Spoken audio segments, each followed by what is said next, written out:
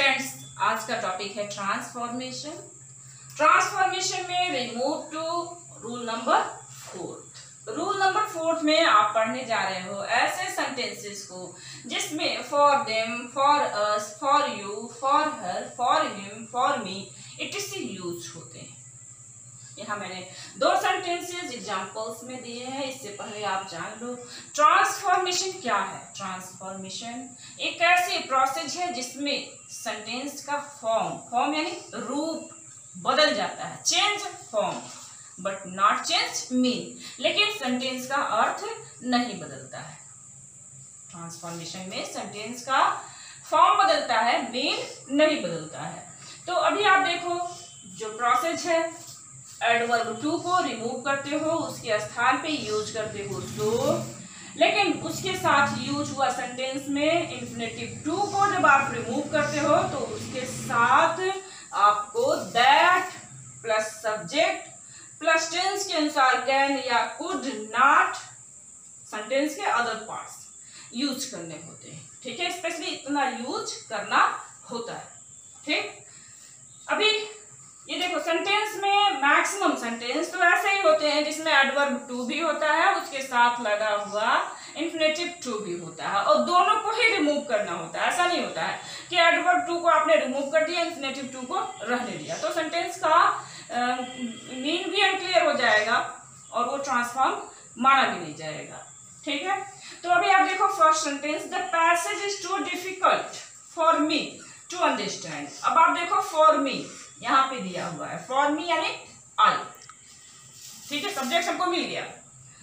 अब हम क्या देखेंगे कि हम टू को हटाएँगे और उसकी जगह क्या यूज़ करेंगे? सो और इस टू को हटाएँगे, उसकी जगह क्या यूज़ करेंगे? जैसा कि रूल है दैट लगाएँगे। दैट के बाद सब्जेक्ट लगाएँगे। सब्जेक्ट हमारे पास है फॉर मी आई और सेंटेंस का टेंस देखेंगे, और यहाँ पे टेंस प्रेजेंट टेंस है तो हम क्या लगाएँगे? कैन नॉट और उसके बाद जो हमारा सेंटेंस का पार्ट है।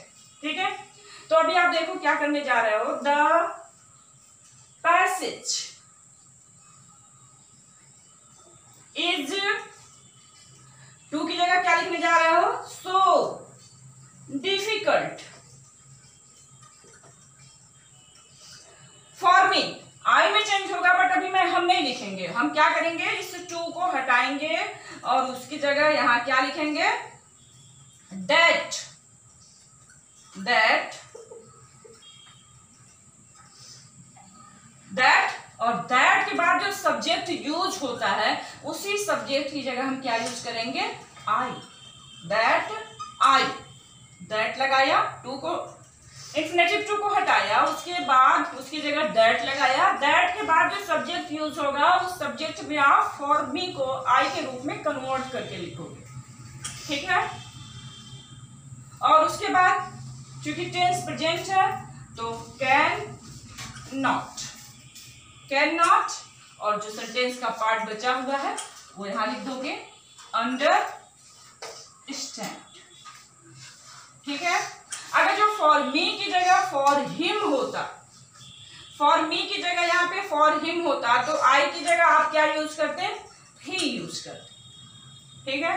फॉर हर होता तो आई की जगह क्या यूज़ करते? सी यूज़ करते. फॉर यू होता तो आई की जगह क्या यूज़ करते यू यूज़ करते फॉर अस होता तो आई की जगह क्या यूज़ करते? वी यूज़ करते। फॉर देम होता तो आई की जगह क्या यूज़ करते? दे यूज़ करते। अंडरस्टैंड ठीक है? अभी मैं यहाँ सेकेंड सेंटेंस देखिए। The tree was too high for a little child for a little child to climb अभी देखो, यहाँ पे for me us you her him की जगह क्या लिखा हुआ है? फॉर लिटिल चाइल्ड तो अब ये सब्जेक्ट हमारा यही है। अगर फॉर मी होता तो आई फॉर हर होता तो सी ऐसे कन्वर्ट करके आप लिखते। बट यहाँ फॉर लिटिल चाइल्ड है तो आप क्या करोगे? चलो ट्रांसफॉर्म करते हैं। द ट्री वाज टू की जगह। सो हाई ठीक है? टू इसको तो हम सब्जेक्ट बनाएँगे जो दैट uh, के बाद यूज़ होगा और टू को हटाएँगे तो हम क्या करेंगे? दैट यूज़ करेंगे। और दैट के बाद जो सब्जेक्ट यूज़ होता है टू को हटाते हैं दैट यूज़ करते हैं। दैट के बाद जो सब्जेक्ट यूज़ होगा वो क्या होगा? A little child that a little child ठीक है?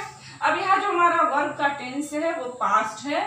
तो क्या करेंगे? कुड नॉट क्लाइंब ठीक है? यहाँ मैंने दो सेंटेंसेस आपको दिए हैं। एक ऐसे सेंटेंस जिसमें से, इसमें से कोई एक यूज़ होगा। यहाँ फॉर मी यूज़ हुआ है तो उसके लिए हमने यहाँ प्रोनाउन आई का यूज़ किया है। और दूसरा, ये सेंटेंस जिसमें से, इसमें से कोई यूज़ ना हो करके, कोई दूसरा ही थर्ड वर्ड यूज़ होगा तो हम उसी वर्ड को यहाँ पे सब्जेक्ट बनाएँगे। ठीक है? The tree was was too की जगह सो हाई की जगह हाई और फॉर अ लिटिल चाइल्ड इसको हम लोगों ने सब्जेक्ट बना लिया, यहाँ लिखा टू को हटाया टू के बाद दैट दैट के बाद सब्जेक्ट और उसके बाद फुटना फ्लाई आई होप स्टूडेंट्स कि आप ट्रांसफॉर्मेशन का ये फोर्थ रूल बहुत ही अच्छे से समझ पाए होंगे. Thank you